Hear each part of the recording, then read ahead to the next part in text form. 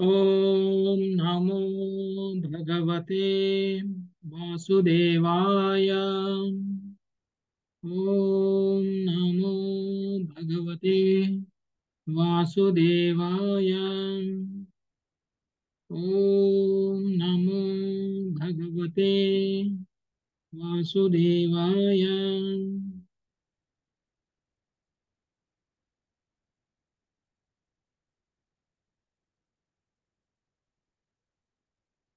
హరే కృష్ణ. అందరికీ వెల్కమ్.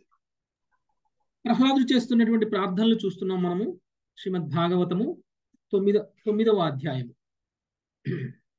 ఏడవ స్కందంలో తొమ్మిదవ అధ్యాయం. ముప్పై తొమ్మిది శ్లోకాలు కంప్లీట్ చేసుకున్నాము. ఇంతకు ముందు దాంట్లో ముప్పై ఎనిమిదవ శ్లోకం వరకు కూడా ప్రహ్లాదుడు భగవంతుడి యొక్క గొప్పతనం గురించి కీర్తిస్తున్నారు. భగవంతుడు సమస్త సృష్టికి ఏ విధంగా కారణము? భగవంతుడి ద్వారా ఏ విధంగా అన్ని విషయాలు వచ్చాయి. మళ్ళీ కమలం ఎలా వచ్చింది? తన యొక్క నాభి నుంచి ఆ కమలమే భౌతిక విశ్వం ఎలా అయింది? ఆ కమలంలో ఉద్భవించినటువంటి బ్రహ్మదేవుడు ఏం చేశాడు? బ్రహ్మదేవుడి ద్వారా మరి ఏ విధంగా జ్ఞానం పొందారు భగవంతుడి నుంచి అనేటువంటి విషయాన్ని మనకి ఇప్పటి వరకు తెలియచేశారు. సో ఇప్పుడు ముప్పై తొమ్మిదవ శ్లోకం నుంచి భగవన్ భక్ ప్రహ్లాదుడు భౌతికంగా ఉన్నటువంటి వ్యక్తుల మీద కరుణను చూపిస్తున్నారు.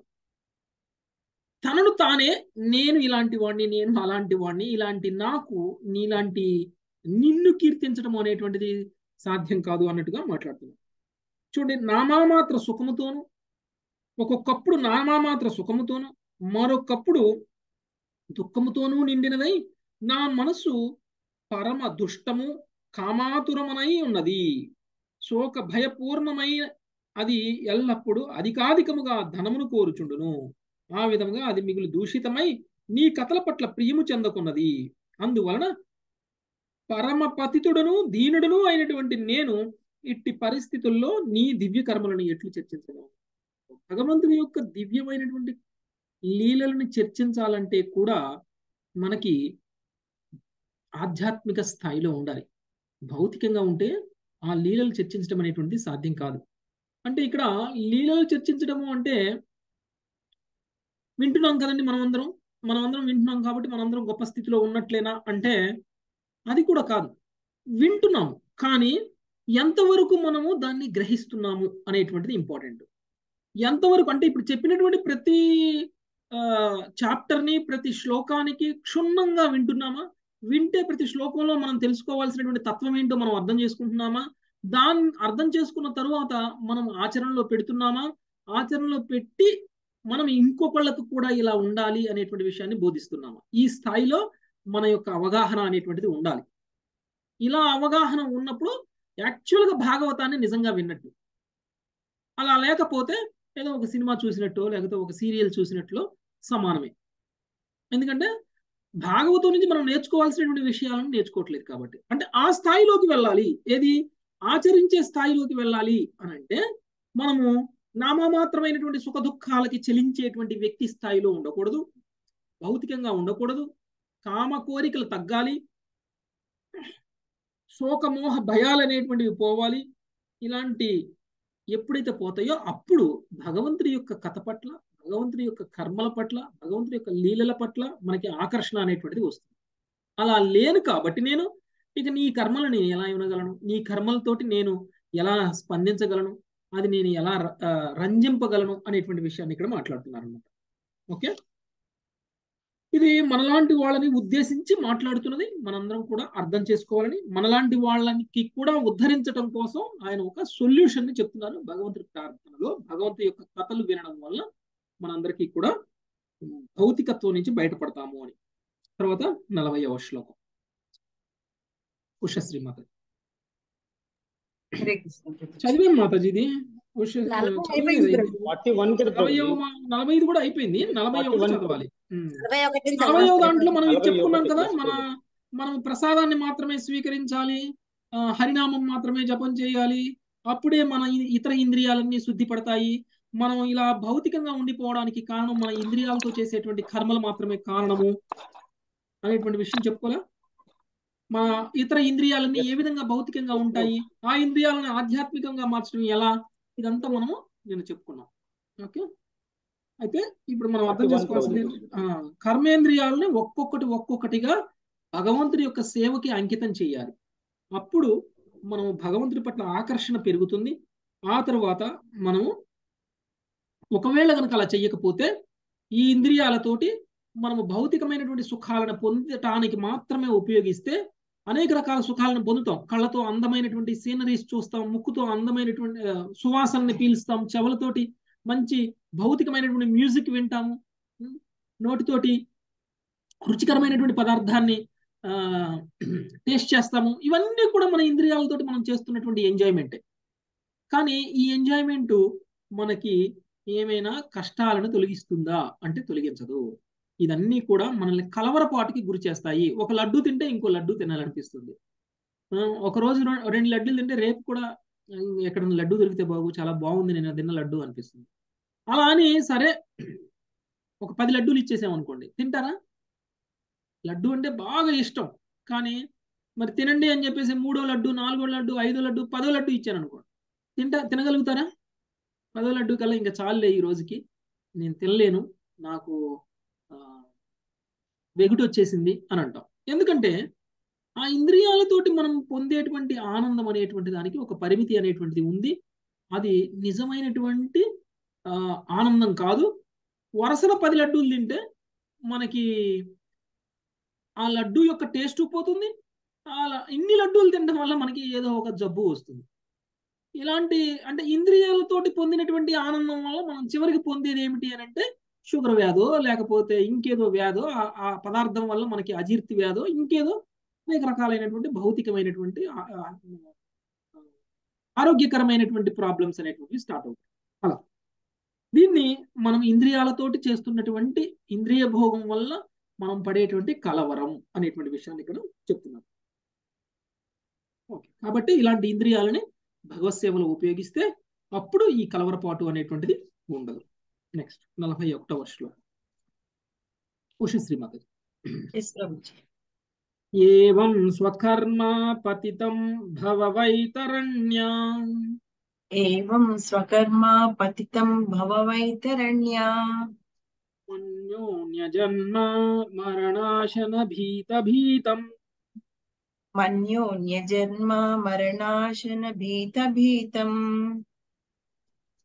పశ్యన్ జనం స్వపర విగ్రహ వైరమైత్రం పశ్యంజనం స్వపర విగ్రహ వైరమైత్రం అంతేతి పారచర పీ పీపృహి మూఢమధ్యా. హంతే చిపారచర పీపృహి మూఢమధ్యా దేవా మృత్యు నది ప్రవాహమునకు సదా ఆవలి వైపున నీవు దివ్యముగా నిల నెలకొనిందువు ఇక కర్మఫలము వలన మేము ఈ వైపున కష్ట పరంపరలో ఉన్నాము. నిజమునకు మేము ఈ వైతరిని ఎందు పడి నిరంతరము జన్మ మృత్యు క్లేశములను అనుభవించుచు దారుణమైనవి భుజించుచున్నాము. కనుక నన్నే కాక దుఃఖార్తులైన ఎల్లరను దయతో వీక్షించి నీ నిర్హేతుకమగు కరుణతోనూ అనుగ్రహముతోనూ ఉద్ధరించి పాలింపుము. సో మనం ఉన్నటువంటి లోకంకి పేరు ఏంటండి దుఃఖాలయం. దీన్ని ఏమంటారు? ఈ లోకాన్ని ఏమంటారు? భూలోకం అంటారా? ఏ లోకం అంటారు? మృత్యులోకం. ఎవరు చెప్పారు? మత్స్యలోకం. క్షీణే పుణ్యే? సత్యలోకం విసంతి. అంటే? ఈ వైతరిణి అంటే లోపడి నిరంతరం అంటే మత్స్యలోకం. వైతరుని వైతరుని గురించి మాట్లాడట్లేదు. క్షీణే పుణ్యే మత్స్యలోకి విశంతి అంటే?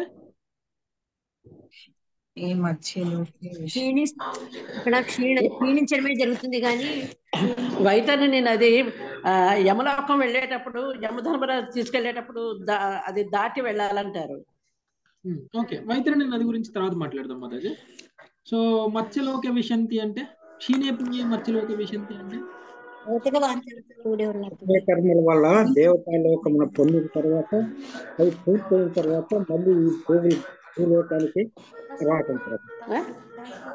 శ్రీలక్ష్మి మాతాజీ మీ బ్యాక్గ్రౌండ్లో సినిమా వినిపిస్తుంది మాకు.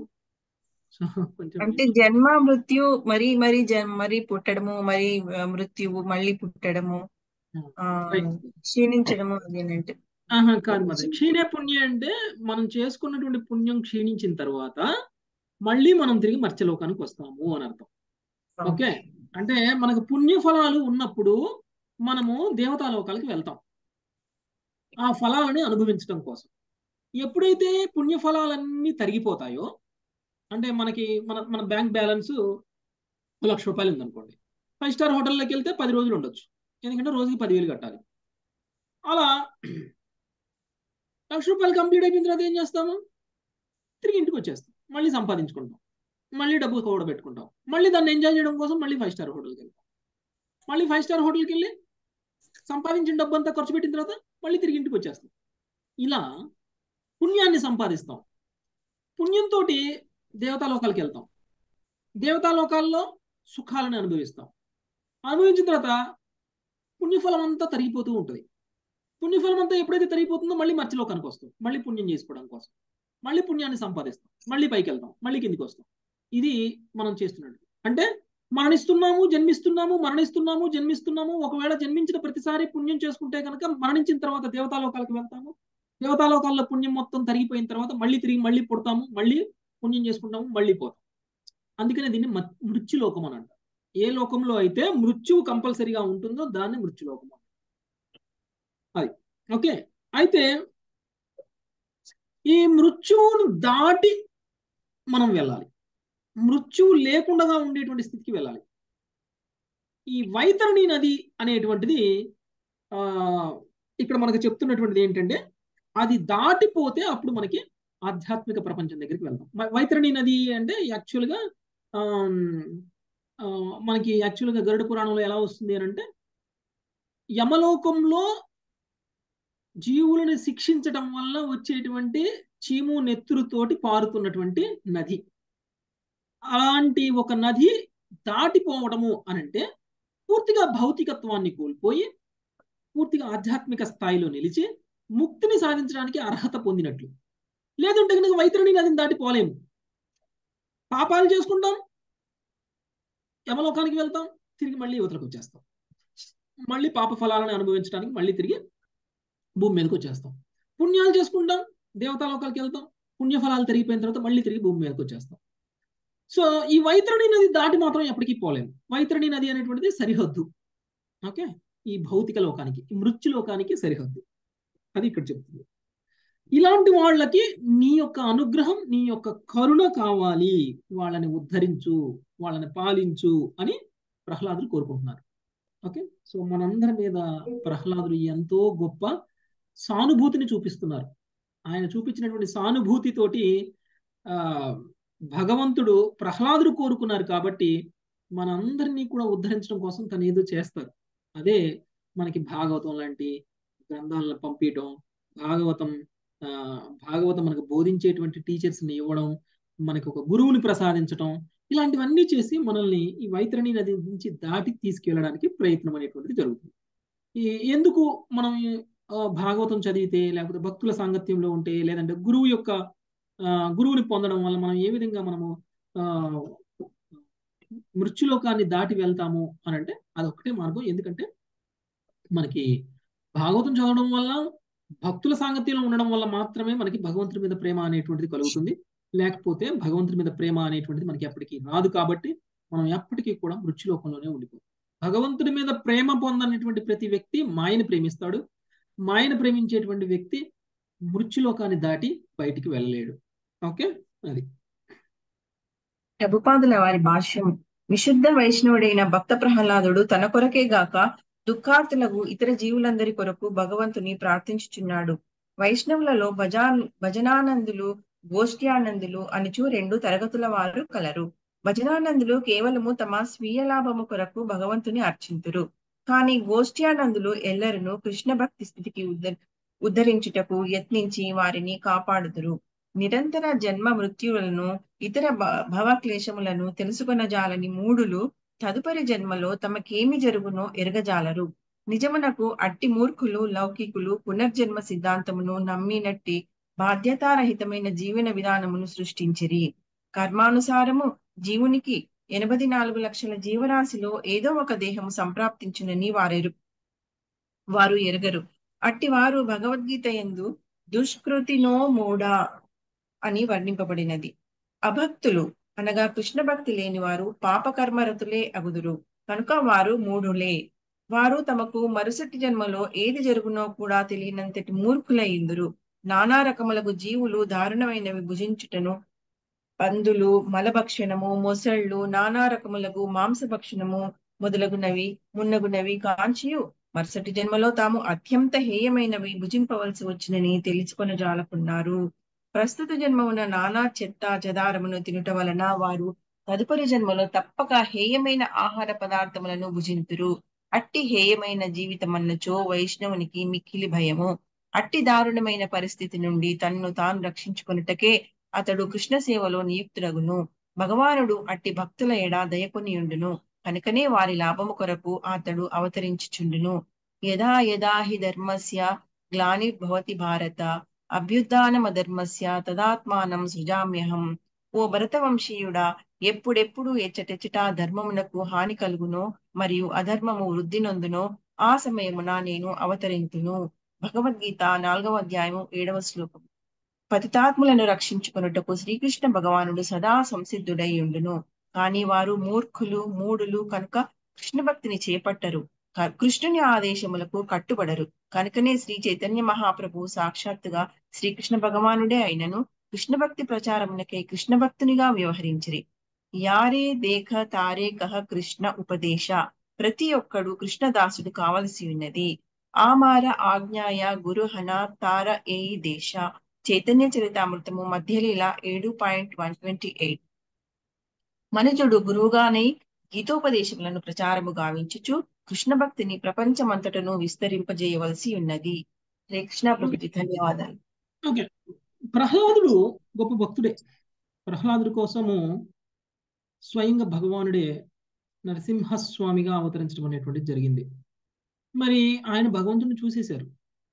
మరి భగవంతుడు కూడా ఆయన అంటే చాలా ఇష్టం.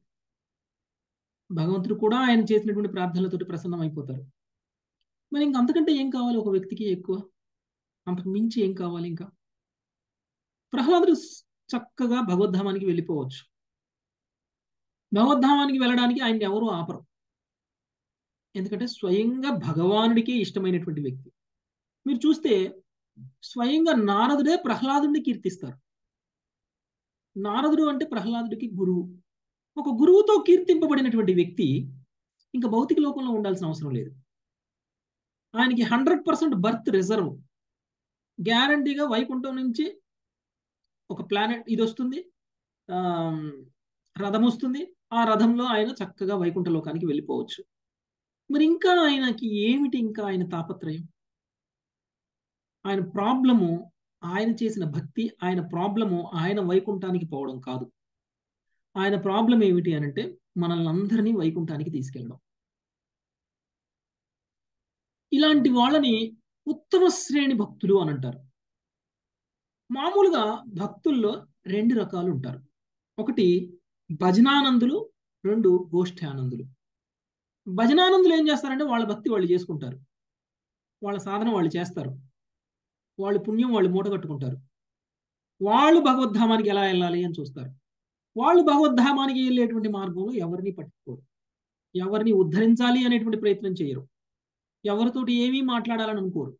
ఇలాంటి ఒక స్థితిలో ఉన్నటువంటి వాళ్ళు భజనానందం ఇక గోష్ఠి ఆనందులు ఏం చేస్తారంటే నేను నరకానికి వెళ్ళినా పర్వాలేదు. సమాజంలో ఉన్నటువంటి ప్రతి ఒక్కడు కూడా భగవద్ధామానికి వెళ్ళాలి అని అనుకునేటువంటి వాడు గోష్ఠి ఆనందుడు ఈ గోష్ఠి అందుకనే ఏం చేస్తారు అని అంటే ప్రపంచం మొత్తం తిరిగి ప్రచారం చేస్తూ ఉంటారు. పరివ్రాజికాచార్యులు కూడా గోష్ఠి ఎందుకంటే పరివ్రాజికాచార్యులు కూడా ప్రచారం చేయడంలోనే ఉంటారు. భగవంతుడి యొక్క ఆ లీలలని భగవంతుడికి సంబంధించినటువంటి భగవద్గీత భాగవతాన్ని ప్రచారం చేయటం వల్ల వాళ్ళని వాళ్ళు ఉద్ధరించుకోవటమే కాకుండా వాళ్ళు అనేక మంది భౌతికంగా పతనమైనటువంటి మనలాంటి వాళ్ళందరినీ కూడా ఉద్ధరించేటువంటి ప్రయత్నం అనేటువంటిది చేస్తూ ఉంటారు. అయితే ప్రహ్లాదుడు తను కీర్తన చేయడానికంటే ముందు ఒక మాట అన్నాడు. నేను ఎందుకు కీర్తన చేస్తున్నాను అని అంటే నేను పరి పరిశుద్ధం అవడం కోసం నేను పవిత్రం అవడం కోసం నేను కీర్తన చేస్తున్నాను అని అన్నాడు. అంటే ఇప్పుడు భగవంతుడి యొక్క కీర్తన ప్రపంచమంతా కూడా చెప్పుకుంటూ పోతూ ఉంటే ప్రపంచంలో ఉన్నటువంటి ప్రచార కార్యక్రమం ఏదైతే ఉందో అదంతా చేస్తూ ఉంటే ఆయన చేస్తున్నటువంటిది ఆ భగవంతుడి కీర్తనే. భాగవతాన్ని బోధించడం భగవద్గీతను బోధించడం భగవద్ ధర్మాన్ని తెలియచేయడం ఏ విధంగా భగవంతుడి యొక్క ధామానికి వెళ్ళాలి అనేటువంటి విషయాన్ని తెలియచేయడం అనేటువంటి కంపల్సరిగా ఒక భగవంతుడికి కీర్తన చేసిన దాంతోనే సమానం. మరి ఇలాంటి కీర్తన ఆయన మనల్ని ఉద్ధరిస్తూ తన్ను తాను ఉద్ధరించుకుంటున్నాడు అనేటువంటి విషయం మనం అర్థం చేసుకోవాలి. ఎందుకంటే కీర్తన చేయడం అనేటువంటిది మనం భాగవతం చదివితే మన టీచింగ్ చేసేటువంటి వ్యక్తి భాగవతం చెప్తున్నారు అని అంటే ఆయనని ఆయన తన హృదయాన్ని పవిత్రం చేసుకుంటున్నారు అని అర్థం. స్వార్థం కూడా ఉంది ఇందులో. భాగవతం నేను చదువుతున్నాను అని అంటే నాకు స్వార్థం ఉంది. మీరు చదువుతున్నారంటే మీకు స్వార్థం ఉండాలి. మిమ్మల్ని మీరు పవిత్రం చేసుకోవడం కోసమే. అంతేకాని భాగవతం నేను తప్ప ఎవరు చెప్పలేరు. నేనే బాగా చెప్తాను. అందుకనే అందరూ నా దగ్గరికే రావాలి. లేకపోతే భాగవతం నేను చెప్తేనే మీరు వినండి సరిగా నేర్చుకుంటారు లేకపోతే నేర్చుకోరు. లేకపోతే నాకు పేరు ప్రతిష్టలు రావాలి నేను భాగవతం చెప్పడం వల్ల. ఇలాంటి ఒక భావనలో చేసేటువంటి భాగవతం అనేటువంటిది భక్తి అవదు. అది ఎప్పటికీ భక్తి అవదు దానివల్ల మన హృదయం పరిశుద్ధం అనేటువంటిది ఎప్పటికీ కాదు. ఏ విధంగా మనం ఇంకా ఇంప్రూవ్ చేసుకోవాలి? ఏ విధంగా చెప్తే మనం ఇంకా పరిశుద్ధం అవుతావు ఏ విధంగా చెప్తే వినే వాళ్ళకి ఇంకా ఎక్కువగా అర్థమవుతుంది? ఏ విధంగా చెప్తే వాళ్ళు కూడా భక్తి అనేటువంటిది డెవలప్ అవుతుంది? వాళ్ళు కూడా భగవద్ధామానికి వెళ్ళేటువంటి అర్హత ఇంట్రెస్ట్ పెరుగుతుంది అనేటువంటిది ఆలోచన చేయటం అనేటువంటిది నిజమైనటువంటి భక్తి. అలా మనం భాగవతాన్ని నేర్చుకోవాలి చదవాలి వినాలి చెప్పాలి. అయితే ఇక్కడ ప్రహ్లాదుడు ఒక పరివ్రాజికాచార్యుడు లాంటి వాడు. ప్రహ్లాదుడు గోష్ఠ్యానందుడు. అందుకనే ప్రహ్లాదుడు నరసింహ భగవానుడికి చేస్తున్నటువంటి ప్రార్థనలో భౌతికంగా పతనమైనటువంటి వ్యక్తుల్ని ఏ విధంగా ఉద్ధరించాలి? వాళ్ళ కోసం నువ్వు అవతరించు. వాళ్ళకి వాళ్ళ మీద నీ యొక్క కరుణను చూపించు. వాళ్ళ మీద నీ యొక్క అనుగ్రహం చూపించు అని ప్రార్థిస్తున్నాడు. ఓకే? అది.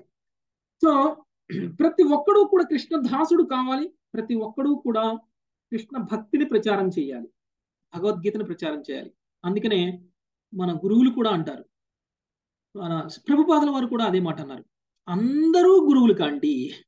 అందరూ గురువులైతే ప్రతి గురువుకి అనేక వేల మంది శిష్యులు ఉంటారు.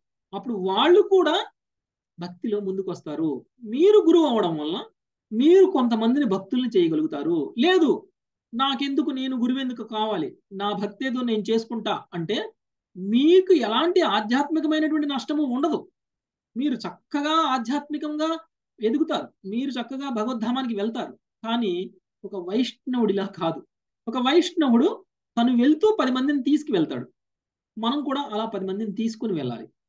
అలా మన స్థాయి అనేటువంటిది ఎదగాలి. అందుకనే మనం అందరం కూడా ప్రచారం చేయాలి. అందుకు మనం అందరం కూడా గురువులు అవ్వాలి. గురువులు అవ్వాలి కదా అని చెప్పేసి మనకు తోచింది చెప్పకూడదు. ఈ రోజు ప్రభుజీ చెప్పమన్నారు అందరికీ భగవద్గీత చెప్పమన్నారు అందరికీ భాగవతం చెప్పమన్నారు అని చెప్పేసి రేపటి నుంచి పుస్తకం పట్టుకొని బయటికి వెళ్ళి పిలిచిన అందరినీ పిలిచేసి కూర్చోబెట్టేసి ఇష్టం వచ్చింది చెప్పకూడదు. పరంపరలో ఉన్నటువంటి విషయాలను మాత్రమే చెప్పాలి. పరంపర ద్వారా తెలుసుకున్నటువంటి విషయాలను మాత్రమే చెప్పాలి. మన ఇష్టం వచ్చింది చెప్పకూడదు. మనకు నచ్చింది చెప్పకూడదు. మనకు అనిపించింది చెప్పకూడదు. మన మనోకల్పనలతో చెప్పకూడదు. అప్పుడు అది పాపం అవుతుంది అది అపరాధం అవుతుంది దానివల్ల మీరు చెప్పారు కదండి భగవద్గీత బోధిస్తే మేము శుద్ధ భక్తులం అయిపోతాము అని అనుకుంటాం. కానీ ఎప్పుడైతే పరంపరలో లేనటువంటి విషయాలు ఎప్పుడైతే కృష్ణుడు చెప్పనటువంటి విషయాలు మనకి ఎలా అర్థమైందో అలా మాట్లాడేటువంటి విషయాలు ఒకవేళ మనం చెప్తే మనము అలాంటి బోధనల వల్ల పవిత్రులం అవ్వకపోగా మనము పాపాన్ని మూటగట్టుకొని నరకానికి వెళ్ళేటువంటి ప్రమాదం ఉంది. కాబట్టి భగవద్గీత అయినా సరే భాగవతమైనా సరే సరిగా అర్థం చేసుకొని దాంట్లో ఉన్నటువంటి వివరణని పూర్తిగా అవగతం చేసుకున్న నాడు మనం వెళ్ళి ఇంకొకరికి బోధించడం అనేటువంటి చెయ్యాలి. ఒకవేళ మనం బోధిస్తే మనం తత్వం కరెక్ట్గా చెప్తామో లేదో మనం బోధించడం వల్ల పరంపరలో ఉన్నటువంటి విషయం సరిగా చేరుతుందో లేదో మనం మనకే సరిగా అర్థం కాలేదు మనం ఇంకొకరికి సరిగా చెప్పగలమో లేమో అనుకున్నప్పుడు కనీసంగా మీతో పాటు వాళ్ళని తీసుకొచ్చి కూర్చోబెట్టాలి. వేరే వాళ్ళు చెప్తున్నటువంటి క్లాస్లో. కూర్చోబెట్టినప్పుడు కూడా మీరు ప్రచారం చేసినట్లే అవుతుంది. సో ఆ విధంగా మన స్థాయి కొలది మనకు అర్థమైనటువంటి విషయాలను ప్రచారం చేస్తూ మనకు అర్థం కానటువంటి విషయాలను చెప్పడం కోసం మనం వేరే వాళ్ళ క్లాస్లో మనల్ని కనెక్ట్ చేస్తూ మనం కనెక్ట్ అవుతూ వేరే వాళ్ళని కనెక్ట్ చేస్తూ ఆ విధంగా మనం మన ప్రచారాన్ని పెంచుతూ పోవాలి. అది ఆ నిజమైనటువంటి ఒక వైష్ణవుడు చేసేటువంటి భక్తియుత సేవ భగవత్ సేవ. అందుకని కృష్ణుడు పద్దెనిమిదో అధ్యాయంలో ఎవరైతే ఇప్పుడు నేను చెప్పిన భాగ భగవద్గీతను విని ఎవరైతే దాన్ని శుద్ధ భక్తులకి ప్రచారం చేస్తారో అలాంటి వారు నాకు అందరి భక్తుల్లో ప్రీతిపాత్రుడైనటువంటి వాడు అంతకు మించినటువంటి ఇంకా ఇష్టమైనటువంటి వాడు ఎవరు లేరు నాకు. ఆయనే టాప్ మోస్ట్ ఆ నేను లైక్ చేసే వాళ్ళల్లో అనేటువంటి విషయాన్ని కృష్ణుడు తెలియచేశారు అంటే ఎప్పుడైతే మనము గోష్ఠ్యానందులుగా మారతామో అప్పుడు మనల్ని కృష్ణుడు ఇష్టపడతారు. ఓకే? నెక్స్ట్ నలభై రెండవ శ్లోకం ఎవరన్నా ఎవరికన్నా చెబుదామన్నా మెడిటేషన్ చేసుకోక ఎందుకు నీకు ఇది అని ఓ ఇది చేస్తున్నారు ప్రభుజీ. మెడిటేషన్ మెడిటేషన్ పిచ్చిలో పడిపోయారు ప్రభుజీ అందరూ. ఓకే మాతాజీ నువ్వెందుకు తిని కూర్చోక అంటున్నారు? సరే మాతాజీ మెడిటేషన్ చేస్తున్నానని చెప్పండి మీరు. ఇది ఇది మెడిటేషన్ చెప్పండి మాతాజీ. ఇది మెడిటేషనే మాతాజీ. కృష్ణుడిని ధ్యానించడం అనేటువంటిది మెడిటేషనే అదే ప్రభుజీ నేను చెప్పేది అదే. మా కృష్ణుల్లోనే భయ భయ భయమర్చిపోయి ఉన్నాం. మాకు అది చాలా చెప్పండి అంతే. ఓకే సునీత మాతాజీ చదవండి. హరే కృష్ణ ప్రభుజీ. కోన్వత్ర తే అఖిల గురో భగవన్ ప్రయాస. కోన్వత్ర తే అఖిల గురో భగవన్ ప్రయాస. उत्तारणे भवसम्भवलोपहेतो। उत्तारणे भवसम्भवलोपहेतोः। तेषु वै महदनुग्रह आर्तबन्धो। मूढेषु वै महदनुग्रह आर्तबन्धो। किं तेन ते प्रियजना जनाननुसेवतान्नः। తే ప్రియ జనానను సేవతాన్నః కిం తేన తే సేవతాం దేవదేవ జగద్గురు విశ్వ కలాపములనే నిర్వహించడు నీకు నీ భక్తిలో నెలకొనిన పతితాత్ములను ఉద్ధరించుటలో ప్రయాస ఏమున్నది? నీవు ఆర్తులకు మిత్రుడవై ఉన్నావు. ఇక మూర్ఖుల ఎడనే మహాత్ములు తప్పక కరుణ చూపవలసి ఉన్నది. కనుక నీ సేవలో నిలిచినట్టి మా వంటి వారలపై నిర్హేతుకమకు కరుణను చూపెదమని నేను తలంచుచున్నాను. భాష్యం భాష్యము. బై తేలా ప్రభుపాద్. తన విశుద్ధ భక్తుని ఆదేశానుసారము వర్తించేడు భక్తుల ఎడ దేవదేవుడు అత్యంత అనుకూలుడై ఉండునని ప్రియ జనానను సేవతాం నహ అను పద సముదాయము సూచించున్నది అనగా ప్రతి ఒక్కడు భగవద్దాసునికి దాసానుదాసుడు కావలసి ఉన్నది ఎవడేని నేరుగా భగవద్దాసుడు కాగోరినచో భగవద్దాసదాసుని సేవలో నెలకొనినంతగా సఫలీకృతుడు కాజాలడు. శ్రీ చైతన్య మహాప్రభువుల వారి ఆదేశం ఇదియే. గోపీ భర్తు పద కమల యోధ సదాసానుదాస ఎగుటకు ఆయన మనకు మార్గమును చూపించిరి. నేరుగా భగవద్దాసుడై గర్వి గర్వించుటకు బదులు మనుజుడు విశుద్ధ భక్తుని భగవద్దాసుడుని ఆశ్రయించి అతని సేవలో నెలకొనవలెను. అతడు ఎంత నిష్ఠగా దాసానుదాసుడగునో అంత అధికముగా భక్తిలో పరిపూర్ణుడగును. ఏవం పరంపరా ప్రాప్తమిమం రాజర్షయో విదుహు అనుచు భగవద్గీత కూడా ఈ ఉపదేశమునే వసగినది. భగవద్ విజ్ఞానమును మనుజుడు కేవలము పరంపరా విధానముననే తెలుసుకొనగలడు. ఈ విషయం నా శ్రీల నరోత్తమ దాస ఠాకూరులు తాందేర చరణ సేవి భక్త సనేవాస.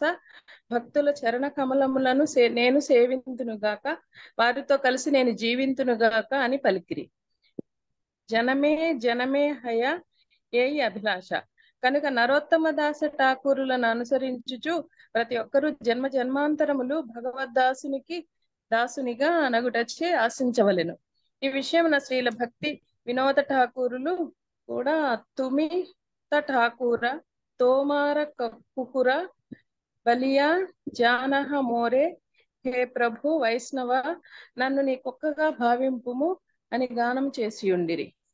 విశుద్ధ భక్తుడు శ్రీకృష్ణుని ఎటువంటి శ్రమ లేకుండా వసగగలడు కనుక ప్రతి ఒక్కడు అతడికి పెంపుడు కుక్క కావలసి ఉన్నది. కృష్ణసే తోమార కృష్ణ దితే పార శ్రీకృష్ణుడు విశుద్ధ భక్తుని సొత్తు. కనుక మనము శరణాగతులమైనచో శ్రీకృష్ణుని అతడు అనాయాసముగా వసగగలడు. ప్రహ్లాదుడు కూడా భక్తుని సేవలో నిలువగోరియే హే ప్రభు నీ ప్రియమైన భక్తిని ఆశ్రయమును నాకు వసగుము. అతని సేవలో నిలిచిన వాడనే నీకు ముదమును కూర్చగలను అని శ్రీకృష్ణుని ప్రార్థించను. మద్భక్త పూజాభ్యధిక భాగవతము పదకొండు పాయింట్ పంతొమ్మిది పాయింట్ ఇరవై ఒకటి.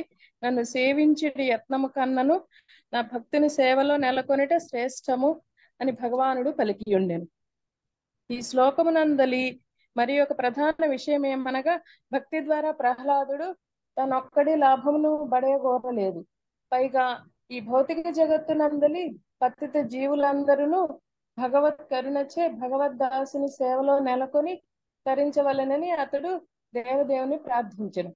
తన అనుగ్రహమును కురిపించుటలో భగవంతునికి ఇబ్బంది ఏదీను లేదు. ఆ విధముగా కృష్ణ భక్తిని విస్తరింపజేసి సమస్త ప్రపంచమును రక్షింపవలనని భక్త ప్రహ్లాదుడు ప్రహ్లాదుడు కోరి ఉండెను హరే కృష్ణ ప్రభుజీ. ఓకే. సో భగవంతుడు తెలుసుకుంటే ఏదైనా చేయగలడు. భగవంతుడు సర్వ విశ్వాల యొక్క కలాపాలని కూడా ఆయనే చూసుకుంటున్నాడు. అలాంటి భగవానుడికి ఒకవేళ మనకి మన మీద కరుణ చూపాలి అని అనుకుంటే అది పెద్ద విషయం ఏం కాదు. మహాత్ములు తప్పకుండా పతితులైనటువంటి జీవుల మీద కరుణను చూపిస్తారు. కాబట్టి నువ్వు కూడా మాలాంటి వాళ్ళ మీద నిర్హేతుకమైనటువంటి కరుణను చూపించు అనేటువంటి విషయాన్ని రిక్వెస్ట్ చేస్తున్నారు ప్రహ్లాదుడు.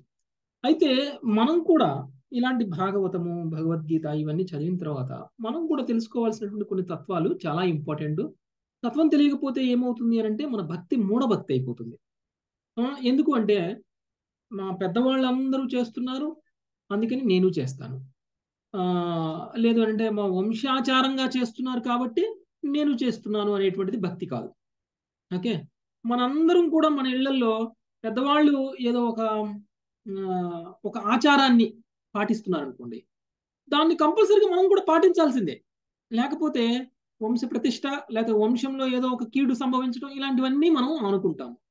అలా వంశంలో ఎవరో చేశారు కాబట్టి దాన్ని ఒక వంశాచారంగా మార్చేసి మనం అందరం కూడా అలానే చేయటము అని అంటే దాన్ని మూఢభక్తి అంటారు. ఇలాంటి మూఢభక్తి కాదు మనం చేయాల్సింది తత్వం తెలుసుకొని భక్తిని చేయాలి ఓకే? ఎప్పుడైతే మనం తత్వం తెలుసుకొని భక్తిని చేస్తామో అప్పుడు మన భక్తి అనేటువంటిది పురోగమిస్తుంది. అప్పుడు మనం కన్విన్స్ అవుతాం మనం చేసేటువంటి భక్తిలో. లేదు అంటే ఏమవుతుంది అంటే మా ఇప్పుడు ఒక ఉదాహరణకి ఇంతకుముందు ఒక ఫ్యామిలీలో పెళ్ళి జరిగింది. సో పెళ్ళి జరిగినప్పుడు ఆ ఫ్యామిలీలో ఉన్నటువంటి కోళ్ళని వాళ్ళు కోళ్ళు పెంచుకుంటారు. కోళ్ళు పెంచుకునే వాళ్ళు వాళ్ళు ఏం చేశారు? ఆ రోజు పెళ్ళి జరుగుతున్నటువంటి సందర్భంలో ఎవరో ఇంతకుముందు కోళ్ళని ఏం చేశారంటే ఒక బుట్ట పెట్టి బుట్ట బుట్ట కింద పెట్టి కప్పేవాళ్ళు. అప్పుడు ఆ కోడి ఆ బుట్ట కిందనే ఉండి ఎటు పోకుండా ఉండేది. ఎవరో పెళ్ళి సందడి జరుగుతూ ఉంటే ఎవరో ఆ బుట్టను లేపేశారు. లేపేసేసరికి కోడి అటు ఇటు పరిగెత్తింది. కోడి అటు ఇటు పరిగెత్తికిందా కదా అని చెప్పేసి అక్కడ ఉన్న వాళ్ళందరూ కూడా పరిగెత్తి పరిగెత్తి ఆ కోడి వెనకాలని పరిగెత్తి ఆ కోడిని పట్టుకొని తీసుకొచ్చి ఆ బుట్ట కింద పెట్టి మళ్ళీ బుట్టను కప్పేశారు. అయితే అసలు జరిగింది ఏంటి పొరపాటున కోడి బుట్టలో నుంచి బయటకు వచ్చేసింది. మళ్ళీ దాన్ని బుట్టలో పెట్టేశారు. ఇప్పుడు దీన్ని ఆచారం చేసేసారు దీన్ని ఆచారం చేసేసి నెక్స్ట్ తరంలో మళ్ళీ పెళ్ళి జరుగుతుంటే నెక్స్ట్ తరంలో మళ్ళీ పెళ్ళి జరుగుతుంటే మళ్ళీ కావాలని ఒక కోడిని వదిలేసి పట్టుకొని మళ్ళీ బుట్ట కింద పెట్టడం మళ్ళీ నెక్స్ట్ తరంలో మళ్ళీ పెళ్ళి జరిగితే మళ్ళీ కావాలని కోడిని వదిలేసి మరీ మళ్ళీ పట్టుకొని బుట్ట కింద పెట్టడం ఇది ఒక ఆచారంగా మారిపోతుంది. అంటే వంశంలో పెళ్ళి జరిగిన ప్రతిసారి ఈ తంతు జరగాలి. ఎందుకంటే ఇది వంశాచారం. ఇలా మారిస్తే దీనికి అసలు ఎలాంటి అర్థము లేదు. ఇలాంటి ఒక భక్తి కూడా ఇలాంటి ఒక పద్ధతిలో మనము భక్తిని చేయకూడదు. ఇలా చేయడం వలన మనలో భక్తి అనేటువంటిది పెరగదు. మనలో భౌతికత్వం అనేటువంటిది పోదు. కాబట్టి మనం అందరం కూడా తత్వాన్ని అర్థం చేసుకుని భక్తి చేయాలి. అయితే చైతన్య మహాప్రభువు చేసినటువంటి ఆదేశం ప్రకారంగా భక్తిలో పురోగమించాలి అని అంటే మనం ఏం చేయాలి అని అంటే స్వయంగా భగవంతుడికి సేవకుడు అవ్వాలి అనుకున్న దానికంటే భగవంతుడి యొక్క సేవకుడికి సేవకుడు కావడానికి ప్రయత్నం చేయండి. అప్పుడు భక్తులు ఇంకా ఫాస్ట్గా పురోగమిస్తారు. ఒకవేళ భగవంతుడు సేవకుడికి సేవకుడికి సేవకుడుగా మారనుకోండి ఇంకా ఫాస్ట్గా పురోగమిస్తారు. సో ఎప్పుడైతే దాసాను దాసాను దాస అవుతావో అప్పుడు మనం భక్తిలో చాలా ఫాస్ట్గా పురోగమిస్తాం. కృష్ణుడు కూడా మనకి కృష్ణుడు కూడా భగవద్ధామానికి వెళ్ళాలి అని అంటే మనం అలానే చేయాలి అనేటువంటి విషయం మనకి తెలియజేస్తున్నారు. ఇప్పుడు చూడండి ఆ పదకొండవ స్కందము పంతొమ్మిదవ అధ్యాయము ఇరవై ఒకటవ శ్లోకంలో మద్భక్త పూజాభ్యధిక అని అంటే నన్ను సేవించడి యత్నము కనను నా భక్తుని సేవలో నెలకొనుట శ్రేష్టమైనటువంటిది అనేటువంటి విషయం శ్రీకృష్ణ భగవానుడు చెప్తారు పదకొండవ స్కందం ఓకే? అంటే మనము భగవంతుని చేరుకోవడానికి ఒక పద్ధతి ఉంది ఒక లాజిక్ ఉంది. ఆ ప్రకారంగానే మనం చేరుకోవాలి. అలా చేరుకున్నప్పుడు మనము చాలా సులభంగా భగవంతుడి దగ్గరికి చేరుకుంటాం. కాబట్టి ఒక శుద్ధ భక్తుడిని చూడాలి. ఒక గురువు గురువు అనేటువంటి వాడు శుద్ధ భక్తుడు. గురువుకి సేవ చేయాలి. ఎప్పుడైతే మనం గురువుకి సేవ చేస్తామో ఆటోమేటిక్గా మనలో భక్తి అనేటువంటిది పెరుగుతుంది. గురువు సేవ కంటే మించినటువంటి సేవ ఇంకొకటి ఉండదు. అందుకనే మనము గురు సేవకి చాలా ప్రాధాన్యత ఇవ్వాలి. యాక్చువల్గా నేను ఒక సంఘటన చెప్తాను. మా శిక్షా గురువు లాస్ట్ ఇయర్. మాకు ఇనిషియేషన్ ఇవ్వడానికంటే ముందు జరిగినటువంటి సంఘటన. ఆయన ఏమన్నారంటే ఆయన ఫోన్ చేసి మురళీ ప్రభు మీరు బయలుదేరి ఆ రోజు నాకు ఆఫీస్ ఉంది. మురళీ ఆయన మీకు ఆఫీస్ ఉందా? మీరు ఎక్కడ ఉన్నారు ఏమి అడగలేదు. నాకు ఫోన్ చేశారు. మురళీ ప్రభు మీరు బయలుదేరి పలానా చోటకి రండి. మీతో పని ఉంది రేపు గురు మహారాజు వస్తున్నారు. గురు మహారాజు వస్తున్నప్పుడు మీ మీరు చేయాల్సిన పనులు ఏంటో నేను మీకు చెప్తాను. మీరు రండి అని అన్నారు. నేనేమో నాకు ఆఫీస్ ఉంది ప్రభుజీ నేను ఆఫీస్కి వెళ్ళాలి ఇప్పుడు అని కూడా అనలేదు నేను. వెంటనే ఆఫీస్కి ఫోన్ చేసి నేను రావట్లేదు అని చెప్పాను. నేను బయలుదేరి వెళ్ళిపోయాను అక్కడికి. సో నేను బయలుదేరి అక్కడికి వెళ్ళిపోతుంటే ట్రాఫిక్ చాలా ఎక్కువగా ఉంది. ఆయన అన్నాడు ఇప్పుడు బయలుదేరితే మీరు ఎన్ని గంటలకల్లా వస్తారంటే one and half hour two hours పట్టిద్దండి అన్నాను నేను వెళ్ళేసరికి టూ అండ్ హాఫ్ అవర్స్ అయ్యింది. అంటే అరగంట లేట్కి వెళ్ళాను. ఎందుకు లేటుగా వచ్చారు? ఏమిటి అనేటువంటి ప్రశ్న వేయలేదు. నేను మిమ్మల్ని గురువుకు సర్వీస్ చేయడం కోసం పిలిచాను. గురువుకి సర్వీస్ చేయడం కోసం పిలిచినప్పుడు మీరు ఇలా లేట్ రాకూడదు. గురువు సేవ కంటే ముఖ్యమైనటువంటి సేవ ఇంకొకటి లేదు. ఇంకా ఏది లైఫ్లో ప్రయారిటీ కాదు. ఒక ఐదు నిమిషాలు ముందే ఉండాలి కానీ ఐదు నిమిషాలు లేట్ ఉండాలి. చాలా పంక్చువల్గా ఉండాలి చాలా అలర్ట్గా ఉండాలి చాలా సిన్సియర్గా ఉండాలి అని చెప్పేసి ఆయన నాకు ఒక మాట చెప్పేసి ఆయన వెళ్ళిపోయారు. ఇంకంతే. మేము మేము ఇంకా ఎక్స్ప్లెనేషన్ కూడా చెప్పుకోవడానికి కూడా లేదు. నేను శ్రీధర ప్రభు ఇద్దరం వెళ్ళాము ఆ రోజు అప్పుడు సో ఒకటే మాట చెప్పేశారు ఆయన వెళ్ళిపోయారు. ఆ తర్వాత మాకు ఒక పని అప్ప చెప్పేసి ఆయన వెళ్ళిపోయారు. మళ్ళీ సాయంత్రం తిరిగి వచ్చారు. ఆ లోపల మేము ఆ పని అంతా కంప్లీట్ చేసి ఆయనకి రిపోర్ట్ ఇచ్చాము. మొత్తం గురు మహారాజు వచ్చిన రోజు నుంచి గురు మహారాజు వెళ్ళే రోజు వరకు ఏ టైంలో ఎక్కడ ఉండాలి ఏ టైంలో ఏం చెయ్యాలి ఏ ఏ రోజు ఏమేమి ప్రోగ్రామ్స్ ఉన్నాయి ఏ ప్రోగ్రామ్కి ఏమేమి సేవలు అవసరము ఆ సేవలకి ఎంతమంది మనుషులు కావాలి ఇలాంటి ప్లానింగ్ ఈవెంట్ ప్లానింగ్ మొత్తం చేయమన్నారు మమ్మల్ని. ఈవెంట్ ప్లానింగ్ మొత్తం ఐదు రోజులు గురు ఉంటే అంటే ఐదు రోజులకి day one day two day three day four day ఫైవ్లో ఏ టైంలో ఎక్కడికి వెళ్తారు ఎక్కడికి వెళ్తే ఏమేమి చేయాలి ఆయనకి ఏర్పాటు చేయాల్సినటువంటివన్నీ ఆయన సేవకులు ఎంతమంది ఉన్నారు ఒక్కొక్క సేవకుడిని ఎక్కడెక్కడ మనం ఉంచాలి వాళ్ళకి మళ్ళీ బ్రేక్ఫాస్ట్ ఏమేమి కావాలి? బ్రేక్ఫాస్ట్ మెనూ ఏంటి? వాళ్ళకి లంచ్ మెనూ ఏంటి? డిన్నర్ మెనూ ఏంటి? ఇవన్నీ మనం చేసి ఒక లిస్ట్ తయారు చేస్తే ఆ లిస్ట్లో పలానా పని పలానా వాళ్ళు పలానా పని పలానా వాళ్ళని మొత్తం ఐదు రోజులకి సరిపడా టాస్క్లన్నీ రెడీ అయిపోయి ఐదు రోజులకి అందరినీ అసైన్ చేసేసారు. ఇది మేము ఆ రోజు వెళ్ళి చేసింది. దానికి చాలా అంటే ఇది దాసాను దాసాను దాసుడు అంటే ఇది.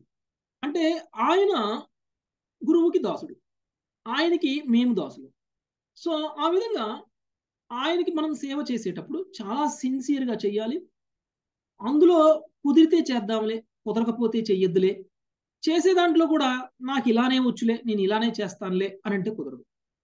మనం బెస్ట్ ఎఫర్ట్ పెట్టి పర్ఫెక్ట్గా సేవ చేయటం అనేటువంటిది చాలా ఇంపార్టెంట్. అలా చేస్తేనే మనకి గురువు యొక్క కరుణ దొరుకుతుంది. అలా చేస్తేనే మనం ఆధ్యాత్మికంగా పురోగమిస్తాం. అందుకనే గురువు కంటే మించినటువంటి ఇంకొక దైవం అనేటువంటిది లేదు. గురువే భగవంతుడు. అలా మనం సేవ చేయాలి గురువంతు గురువుకి శుద్ధ భక్తుడికి. అప్పుడు ఆటోమేటిక్గా భగవంతుడు మనల్ని లైక్ చేస్తారు ఓకే?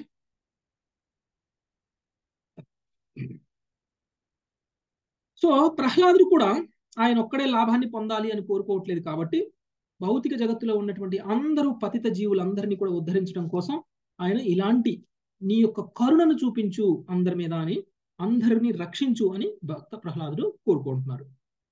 నెక్స్ట్ నలభై మూడవ శ్లోకం. మంగతాయర్ మాతాజీ. నైవో ద్విజే పరధురత్యయ వైతరణ్యా. నైవో ద్విజే పర దురత్యయ వైతరణ్య.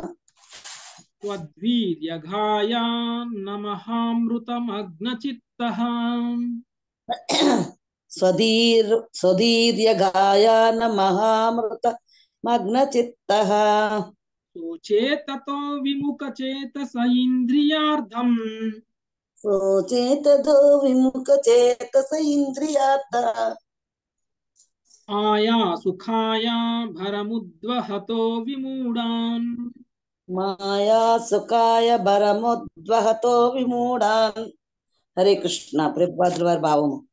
ఓ శ్రేష్ట శ్రే- ఓ శ్రేష్ట పురుష నేనెచ్చట ఉన్నను నీ యశోకర్మల చింతలోనే పూర్తిగా సంలగ్నమై ఉందును.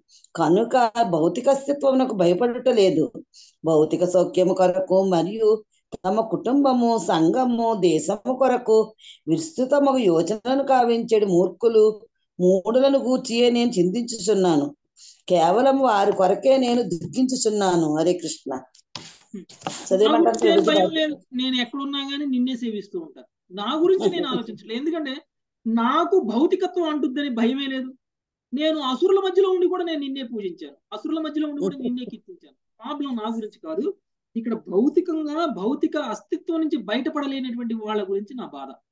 సో అలాంటి వాళ్ళందరినీ కూడా మూర్ఖులు మూడులు గూర్చే నేను చింతిస్తున్నాను. కేవలం వారి కరికే నేను దుఃఖిస్తున్నాను అనేది శుద్ధ వైష్ణవుడు ఆలోచించేటువంటి విధానం. ప్రహ్లాదుడు లాంటి ఒక శుద్ధ వైష్ణవుడు ఆలోచించేటువంటి విధానం.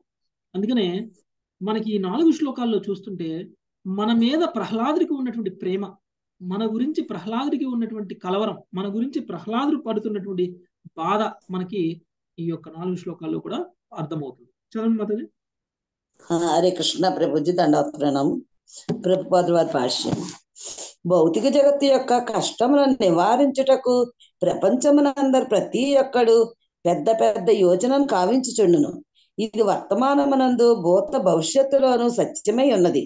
అయినను ఆ రీతి విస్తృతమగు రాజకీయ సాంఘిక సాంస్కృత యోచనను కావించినప్పటికీ వారందరూ ఇచ్చిన మూడులని విమూఢాలు వర్ణింపబడింది భౌతిక జగత్తు భగవద్గీత యందు దుఃఖాలయం అశాశ్వతమని చెప్పబడినది. కానీ ఈ మూర్ఖులు దాన్ని సుఖాలయముగా మార్చుటకు యత్నించుచున్నారు. ప్రకృతి ఏర్పాటు చే ప్రతిదీ ఏ విధముగా పనిచేయడని విషయం నెరుగక వారట్లు వర్తింతురు. అట్టి ప్రకృతి తనదైన శైలిలో వర్ణించినదై ఉన్నది.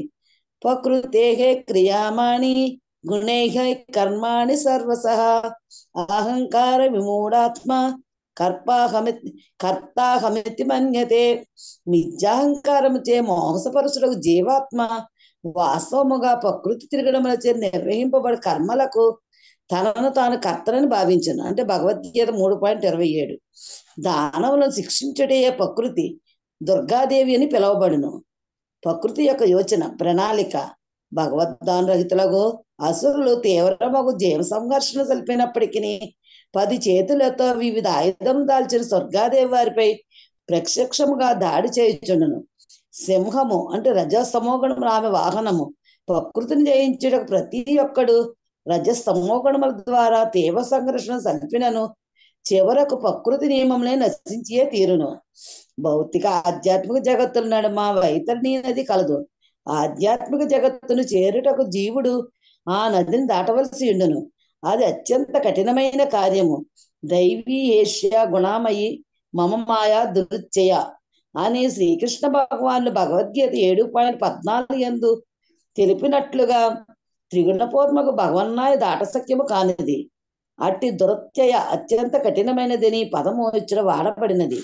కనుక కఠోరమగు ప్రకృతి నియమములను భగవత్కరుణములతో తప్ప ఎవ్వరును దాటచాలరు లౌకికులు తమ యోచనలతో భంగపడినప్పటికీ ఈ భౌతిక జగత్తునందు సుఖవంతులగుటకు పదే పదే యత్నించి చుందురు కనుకనే వారు విమూఢులని వర్ణింపబడిది ప్రహ్లాదుడు ఈ భౌతిక జగత్తులో ఉన్నప్పటికీ పూర్ణ పూర్ణ కృష్ణ భక్తి భావన భావనాయుతుడే ఉన్నందున ఎంత మాత్రము దుఃఖభాగుడు కాడు. కృష్ణ భక్తి భావనాయుతులైన కృష్ణుని సేవించడానికి యత్నించే వారు ఎన్నడను దుఃఖభాగులు కారు. కానీ కృష్ణ భక్తి అనేది ధనము లేని వారు మరియు తీవ్రమగు జీవ సంఘర్షణం నిలబడి వారు మూర్ఖులేగాక అత్యంత దుఃఖభాగులను అయ్యున్నారు. ఇచ్చట ప్రహ్లాదుడు ఏకకాలమున సుఖీ దుఃఖి అని ఉన్నాడు. కృష్ణ భక్తిని కలవాడైనందున సుఖమును దివ్యానందమును పడిసిన అతడు ఈ భౌతిక జగత్తునందు సుఖవంతులు కాగోరి విస్తృతము ఏర్పాట్లను యోచనను కావించడి మూర్ఖులు మూడులను గాంచి తీవ్రంగా దిక్కుతుడయ్యను. హరే కృష్ణ ప్రభుజీ దండవత్ ప్రణామం సో ఈ ప్రకృతి ప్రకృతే క్రియమాణాని గుణై కర్మాణి సర్వస సర్వశ అహంకార విమూఢత కర్తాహమితి మన్యతే. మనం గుణాల ప్రభావంలో ఉండి చేస్తున్నటువంటి ప్రతి పనికి కూడా మనమే కర్త అని మనం భావిస్తున్నాము అని చెప్తున్నారు. అంటే యాక్చువల్గా ఈ భౌతిక లోకం ఏదైతే ఉందో అది దుఃఖాలయం.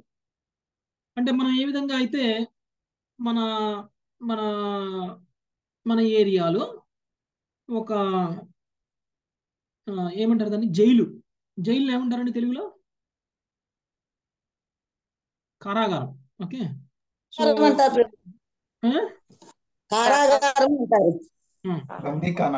ఎందుకు ఎందుకు జైలు ఉంటుంది? ఎందుకు జైలు ఉంటుంది? తప్పు చేసిన వాళ్ళని శిక్షించడానికి ప్రభుజీ.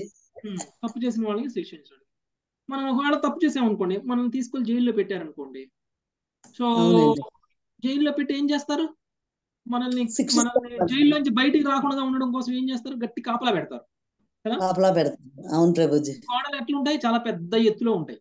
ఎందుకంటే ఒకవేళ. మనం ఎవరు లేరు కదా అని చెప్పేసి జైలు గోడలు దూకి రావాలనే ప్రయత్నం చేయడానికి కూడా అవకాశం లేకుండా జైలు గోడలు చాలా హైట్లో కడతారు. పైగా జైలు గోడల పైన కూడా ఏం చేస్తారు? కరెంట్ పెడతారు. పెడతారు ఏదో ఒక రకంగా మనం ఒకవేళ జైలు గోడ ఎక్కినా కానీ అటు దాటకుండా కరెంటు షాక్ కొట్టేలా పెడతారు. మనం దాటకుండా. అంటే అంత ప్రొటెక్షన్ చేస్తారు. అసలు జైలు గోడ దాకా రాకుండా ఉండడం కోసమే మధ్యలోనే అనేక మంది పోలీసులు ఉంచుతారు. వాళ్ళందరూ కూడా నిరంతరం కాపలా కాస్తూ ఉంటారు. అంత బందోబస్తీ తోటి మనందరినీ కూడా ఆ, తప్పు చేసినటువంటి వాళ్ళందరినీ కూడా శిక్షించడం అనేటువంటి జరుగుతుంది. మరి మనం అందరం కూడా ఈ భౌతిక విశ్వము అనేటువంటి జైల్లోకి వచ్చాము. మరి మనల్ని ఎంత కాపలా కాయాలి మనం ఈ భౌతిక విశ్వం దాటిపోకుండా ఉండడం కోసం మనం శిక్షింపబడుతున్నాం ఇప్పుడు. భౌతిక విశ్వంలోకి వచ్చినటువంటి ప్రతి ఒక్కడు దుఃఖాలయానికి వచ్చాడు. దుఃఖాలయానికి వచ్చినటువంటి ప్రతి ఒక్కడు దుఃఖాన్ని అనుభవిస్తాడు. అంటే ఈ భౌతిక విశ్వము అనేటువంటి జైల్లో ఉన్నటువంటి మనము ఈ జైలు నుంచి బయటికి వెళ్ళి ఆధ్యాత్మిక విశ్వానికి వెళ్ళాలి. అలా వెళ్ళకుండా ఉండడానికి మరి కాపలా పెట్టాలి కదా భగవంతుడు? ఎవరిని పెట్టారు కాపలాగా? దుర్గాదేవి. దుర్గాదేవిని పెట్టారు. అందుకని ఈ జైలు ఏమంటారు అంటే దుర్గం దుర్గం అని అంటారు. ఈ దుర్గం నుంచి బయటికి వెళ్ళకుండా ఉండడం కోసం దుర్గాదేవిని కాపలాగా పెట్టారు. దుర్గాదేవికి ఒక బాధ్యత అప్పచెప్పారు భగవంతుడు.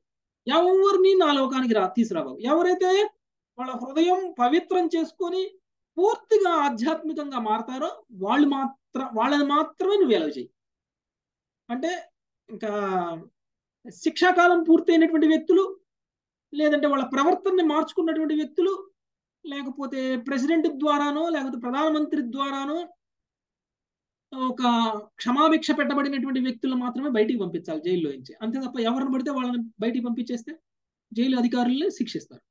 భగవంతుడు ఊరుకోరు ఆ విధంగా దుర్గాదేవి ఈ యొక్క ఈ దుర్గానికి కాపల. అందుకని దుర్గాదేవి చాలా శక్తిమంతురాలు. దుర్గాదేవికి ఉన్నటువంటి శక్తితో ఆమె ఏమైనా చేయగలదు. సమస్త విశ్వాన్ని ప్రళయం కూడా సృష్టించగలదు. అంత శక్తి ఉంది దుర్గాదేవికి. అయితే దుర్గాదేవి తను చేస్తున్నటువంటి బాధ్యతగా ఎవరిని కూడా ఈ భౌతిక విషయం నుంచి దాటి బయటికి తీసుకెళ్ళకుండా ఉండడం కోసం అవసరమైతే మన మీద ప్రేమను కూడా నటిస్తుంది. మనకి లేనివి మనం కోరుకోనివి కూడా ఇస్తుంది మనకి. ఇది మాయలో బంధించడం అనమాట అందుకని దుర్గాదేవికి ఏముంటుందండి? ఆయుధం? త్రిశూలం. త్రిశూలం. త్రిశూలంకి ఎన్ని ఉంటాయి శూలాలు మూడు. మూడండి. మూడు శూలాలు ఒకటి సత్వగుణం ఒకటి రజోగుణం తమోగుణం. ఈ మూడు శూలాలతోటి మనల్ని పొడిచేస్తుంది ఇట్లా హృదయంలో. మనలోకి మూడు గుణాలని దించేస్తుంది. దించేసి మనం ఎప్పుడు భౌతిక విశ్వాన్ని దాటి బయటికి పోకుండా చూసుకుంటాం. ఇది దుర్గాదేవి చేసే పని. ఎవరైనా వచ్చారనుకో రా నా దగ్గరికి రా అని తీసుకొని ప్రేమగా చూసి నువ్వేమైనా కోరిక కోరుకుంటున్నావా? ఆ కోరుకో. నీ కోరిక నేను తీర్చేస్తాను. అని చెప్పేసి కోరిక తీర్చేసి ఆ విధంగా మనల్ని గుణాల ప్రభావంలోనే ఉంచేస్తుంది. ఇది దుర్గాదేవి యొక్క బాధ్యత. దుర్గం దాటి బయటికి పోకుండా చాలా గొప్పగా తన డ్యూటీ తాను చేస్తున్నారు. ఇలాంటి ఒక భౌతికంగా ఉన్నటువంటి వ్యక్తికి ఇలాంటి దుర్గం దాటేటువంటి అవకాశం ఉండదు. ఎప్పుడైతే ఈ వ్యక్తులు ఆధ్యాత్మికంగా మారతారో వాళ్ళు మాత్రమే దుర్గాన్ని దాటేటువంటి అవకాశం ఉంది. ఇలాంటి వాళ్ళ గురించి నా బాధ. నా గురించి నా బాధ కాదు. వీళ్ళందరినీ దుర్గాదేవి మాయ నుంచి తీసుకొచ్చి బయటికి ఎలా తీసుకురావాలి అనేటువంటిది నా బాధ. ఇందుకు నేను కలవర చెందుతున్నాను అని చెప్పేసి ప్రహ్లాదుడు అంటున్నారు వీళ్ళందరినీ కూడా ఏమంటున్నారు? కృష్ణ భక్తి లేకుండా కోరికలతోటి దుర్గాదేవి దగ్గరికి వెళ్ళి దుర్గాదేవి వల్ల చిక్కుపోయే వాళ్ళని ఏమంటున్నారు? కృష్ణుడు మూఢులు అని అంటున్నారు. మూర్ఖులు అని అంటున్నారు. ఇలాంటి మూర్ఖులు ఎప్పటికీ కూడా భౌతిక విషయంలోనే ఉండిపోతారు. ఓకే? నెక్స్ట్ నలభై నాలుగు. రామారావు ప్రభు రామారావు ప్రభు అన్మ్యూట్ చేసుకోండి. హరే కృష్ణ. ప్రాయేణ దేవా మునయస్వ విముక్త కామా. ప్రాయేణ దేవా మునయ సంయుక్త కామా. మౌనం చరంతి విజనేన పరార్థనిష్టా మౌనం చరంతి విజనేన పరార్థనిష్ట రామారావు ప్రభుజీ హైమావతి ప్రభుజీ హైమావతి మాతాజీ కొంచెం మ్యూట్ చేయండి హరే కృష్ణ ప్రభు హరే కృష్ణ ప్రభుజీ చదవనా మౌనం చరంతి విజనేన పరార్థనిష్టా మౌనం చరంతి నిధనేన పరార్థనిష్టా నైతాన్ విహాయ కృపణాన్ విముముక్షయేకో నైతాన్ విహాయ కృపణాన్ విముముక్ష ఏకో నాణ్యం త్వదస్యా శరణం భ్రమతోను పశ్యే నాణ్యం త్వదస్యా శరణం భ్రమతో అనుపశ్యే హరే కృష్ణ ప్రభుజీ ఓ నృసింహదేవ పలువురు సాధు పురుషులున్నను వారు కేవలము తమ ఉద్ధారం నందే అభిరుచిని కలిగి ఉన్నట్టు నేను గాంచితిని. నగరములను పట్టణములను పట్టించుకొనక వారు హిమాలయములకు అరణ్యములకు వెళ్ళి మౌనవ్రతంలో ధ్యానం ఆశ్రయించరు పరులను ఉద్ధరించడంలో వారికి అభిరుచి లేదు. కానీ నాకు సంబంధించినంత వరకు ఈ దీనులకు మూర్ఖులను మూఢులను వదిలి నేనొక్కడినే ముక్తి నొ- నొంచకూడదును నొందగోరను. భక్తి భావనారహితముగా నీ పాద పద్మాశ్రయము లేకుండా ఎవ్వడును సుఖవంతుడు కాదాలని నేను ఎరుగుదును. కనుక వారందరినీ నీ చరణ కమలాశ్రయమునకు చేర్చవలననియే నేను కోరుచున్నాను. హరే కృష్ణ ప్రభుజీ. చదవండి ప్రభు భాష్యం. భాష్యం చదవండి ప్రభుజీ రామారావు. వైష్ణవుని నిర్ణయం ఇదియే కేవలం కృష్ణ భక్తిలో నిలిచి ఉండుటయే అతని ఏకైక కార్యం కనుక ఈ భౌతిక జగత్తులో ఉండవలసి వచ్చినను అతనికి ఎట్టి సమస్యలు ఉండవు. కృష్ణ భావనాయుతుడు నరకమునకు వెళ్ళినను సుఖమంతుడే మనగలడు. కనుకనే భక్త ప్రహ్లాదుడు నైవో ద్విజే వైతరణ్య ఓ పురుష శ్రేష్ఠ సంసారమును గాంచి నేను వెరుగు చెందుట లేదు అని పలికెను. విశుద్ధ భక్తుడైన వాడు ఎటువంటి జీవన స్థితి ఎందైనను దుఃఖి కాబోడు. ఈ విషయము శ్రీమద్ భాగవతమునందే ఇట్లు ధ్రువపరచబడింది. నారాయణ పరః సర్వే నా కుతశ్చన బిభ్యతి స్వర్గాపవర్గ నరకేశ్వసి తుల్యార్థ దర్శిన దేవదేవుడకు నారాయణుని ఏకాంత భక్తి ఎందు నెలకొనిన భక్తులు జీవితం నందల ఏ పరిస్థితికి నీ భయపడరు. అట్టివారు కేవలం భగవత్ సేవానురక్తులై ఉందరు కనుక స్వర్గ మోక్ష నరకాదులన్నీ వారికి సమానమే అయి ఉండును. భక్తుడు స్వర్గమునందు గాని నరకమునందు గాని కృష్ణుడు గూడి ఆధ్యాత్మిక జగత్తునందే నిలిచి ఉన్నవాడు. కనుక స్వర్గవాసమైనను నరకవాసమైనను అతనికి సమానమే. భక్తుని యొక్క విజయ రహస్యము కర్మిష్ఠులకు జ్ఞానులకు తెలియదు. అందువలన కర్మిష్ఠులు భౌతికమైనటువంటి ఏర్పాట్ల ద్వారా సుఖవంతులగుడు యత్నింతురు. ఇక జ్ఞానులు బ్రహ్మ సాయుధ్యము ద్వారా సౌఖ్యవంతు సుఖవంతులు కాగూరదురు. కానీ భక్తునికి దాని ఎందు రుచి ఉండదు. హిమాలయముల ఎందో లేదా అరణ్యముల ఎందో చేసిన నామామాత్ర ధ్యానమ ధ్యానమగ్నమును ధ్యానమన్నను మన్నను అతనికి ఇష్టం ఉండదు పైగా ప్రపంచమందలే అత్యంత జనసమర్థమైనటువంటి ప్రాంతమే అతనికి ఇష్టమైనది. అతట జనులకు అతని కృష్ణ భక్తిని నెల- నేర్చగోరును నేర్చగోరును నేర్పగోరును. ఈ ప్రయోజనము కొరకే మా కృష్ణ చైతన్య ఉద్యమం ఆరంభించబడినది. ఏకాంత ప్రదేశమున ధ్యానము చేయమని మేము ఎన్నడను బోధించము. నానా రకములకు లౌకిక కర్మలను చేయుచునే ఆధ్యాత్మికముగా పురోగమించమని ప్ర- పురోగించితనని ప్రదర్శించుకొనుటకు నామామాత్ర ధ్యానము చూచుకొని గర్వించుటకు మాత్రమే అట్టి ధ్యానము ఉపయోగపడుచున్న ఉపయోగపడవచ్చును. కానీ ప్రహ్లాదుని వంటి వైష్ణవుడు అట్టి బూటకపు ఆధ్యాత్మిక పురోగతిని ఇష్టపడడు. పైగా జనులకు కృష్ణ భక్తి భావనను గూర్చి బోధించడం ఎందు అతడు అభిరుచిని కలిగి ఉండును ఏలైనగా కేవలం దాని ద్వారానే వారు సుఖమంతులు కాగలరు.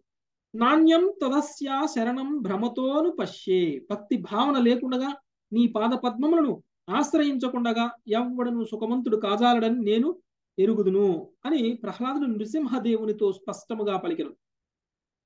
భౌతిక జగత్తునందు జీవుడు జన్మ జన్మాంతరములు పరిభ్రమించుచుండును. కానీ భక్తుని అనుగ్రహముచే అతడు కృష్ణ భక్తి భావనను గూర్చి తెలుసుకుని ఈ ప్రపంచమున సుఖి అగుటకే కాక చివరకు భగవద్ధామమునకు కూడా చేరగలడు. జీవితమునందల నిజమైన లక్ష్యం ఇదియే. కృష్ణ చైతన్య సంగమునందల సభ్యులకు హిమాలయములు లేక అరణ్యములందల నామామాత్ర ధ్యానము నందు అభిరుచి ఉండదు. అట్లే పెద్ద పెద్ద నగరములలో యోగ ధ్యాన శిక్షణ శాలలను తెరుచుటయందును వారికి ఇష్టం ఉండదు ఇటువంటి ఇంటింటికి వెళ్ళి గీతోపదేశములను కూర్చి శ్రీ చైతన్య మహాప్రభు ఉపదేశములను గూర్చి జనులకు బోధించుట ఎందే వారు అభిరుచిని కలిగియుందురు. మా హరినామ సంకీర్తన ఉద్యమం యొక్క ప్రయోజనం ఇదియే కృష్ణరహితముగా ఎవ్వడను సుఖమంతుడు కాజాలడని కృష్ణ చైతన్య ఉద్యమ సభ్యులందరూ పూర్తి విశ్వాసమును కలిగి ఉండవలను. ఈ విధంగా కృష్ణ భక్తి భావనాయుతుడు కపట సాధువులను ఆధ్యాత్మిక వాదులను ధ్యాన పరులను శూన్యవాదులను తత్వవేత్తలను పరోపకార వాదులను దూరముగా ఉంచగలడు. ఇది. ఓకే? ఓకే.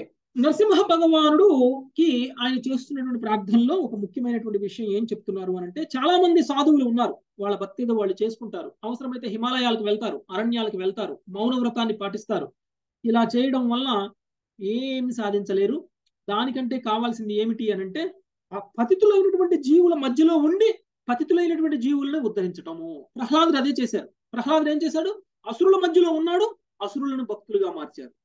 అది నిజమైనటువంటి భక్తి అంటే అంతేకాని ఏకాంతంగా ధ్యానం చేయటం నిజమైనటువంటి భక్తి కాదు.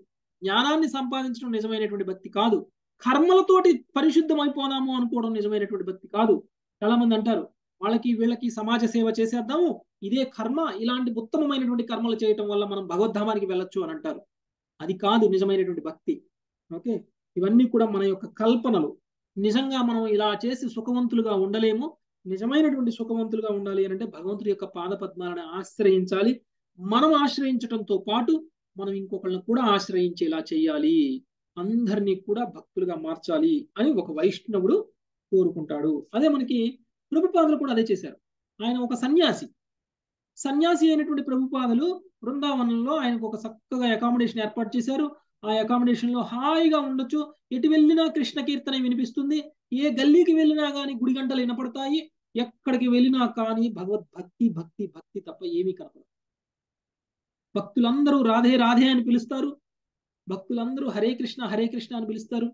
బృందావనంలో చక్కగా ఆయన అనుభవించాల్సినటువంటి సన్యాస జీవనాన్ని చక్కగా అనుభవించవచ్చు ఆయనకి కీర్తనలు అంటే ఇష్టం ఆయనకి డిటి వర్షిప్ అంటే ఇష్టము. అందరినీ పలకరించడం అంటే ఇష్టము. చక్కగా అలా ఉండిపోవచ్చు బృందావనంలో కానీ ఉండలేదు ఆయన. ఆయన అమెరికా వెళ్ళారు.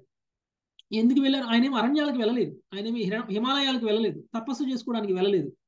ఆయన కృష్ణ ప్రచారం చేయటం కోసం ఆయన అమెరికా వెళ్ళారు.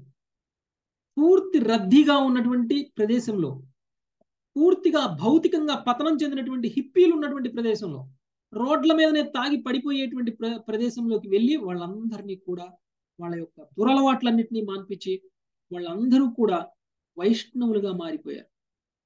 చక్కగా భక్తిని చేసుకుంటున్నారు. వాళ్ళకున్నటువంటి ఆ అక్రమ సంబంధాలు లేకపోతే దురలవాట్లు అన్నిటినీ కూడా మార్ మాన్చేసి భక్తులుగా మార్చేశారు. ఇది ప్రహ్లాదుడు కోరుకున్నటువంటి భక్తి. ప్రహ్లాదుడు ప్రహ్లాదుడు ఇలానే ఉన్నారు. ఇలానే ఉండడం కరెక్ట్ భక్తి అని చెప్పారు. శ్రీల ప్రభుపాదుల వారు కూడా అలానే ఉన్నారు. మనం అందరం కూడా ఆయన్ని అనుసరించాలి. మనం కూడా వైష్ణవులుగా మారాలి. లౌకిక కర్మలతోటి ఆధ్యాత్మికంగా పురోగమించడం అనేటువంటిది సాధ్యం కాదు. కాబట్టి లౌకికంగా ఉంటూనే మంచి పనులు చేస్తున్నాను సమాజ సేవ చేస్తున్నాను కానీ లౌకికంగానే ఉంటున్నాను అని అంటే అది నిజమైనటువంటి భక్తి కాదు. అలాంటి భక్తి మనల్ని ఉద్ధరించదు అనేటువంటి విషయాన్ని మనకి తెలియజేస్తున్నారు కాబట్టి నామ మాత్రమే. జ్ఞానులు వాళ్ళు జ్ఞానంతో నిరాకార బ్రహ్మంలోకి వెళ్ళిపోదాము ఇది చాలు అనుకుంటారు. యోగులు మెడిటేషన్ చేసేసి మెడిటేషన్ ద్వారా నేను భక్తిని సాధిస్తాను అనుకుంటారు. కొంతమంది మౌనవ్రతం కొంతమంది తపస్సులు చేస్తారు ఇలాంటివన్నీ చేస్తారు. వీటన్నిటికంటే ఉత్తమమైనటువంటి కృష్ణ భక్తి భావన ఏమిటి అని అంటే మనము ఎక్కడ ఉన్నామో అక్కడే ఉంటూ జనసామాన్యం మధ్యలో ఉంటూ వాళ్ళందరినీ భక్తులుగా మారుస్తూ మనం కూడా భక్తులుగా మారాలి. మారి మనము ఇలాంటి ధ్యాన పరుల్ని ఆధ్యాత్మిక పరుల్ని శూన్యవాదుల్ని నిరాకారవాదుల్ని అందరినీ కూడా తిప్పికొడుతూ మనం భక్తిలో ముందుకు పోతూ మిగిలిన వాళ్ళందరినీ ముందుకు తీసుకెళ్తూ ఉండాలి. ఇది సరి అయినటువంటి భక్తి. పరోపకారం అంటే ఇది. ఓకే? ఇది ఒక ఆపుదాం మాతాజీ.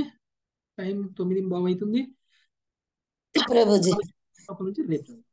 ఎవరికైనా ఏమైనా ప్రశ్నలు ఉంటే తీసుకుందాం పంచాకల్పతరుభ్యశ్చ కృపా సింధుభ్యశ్చ पतितानां पावनेभ्यो वैष्णवेभ्यो नमो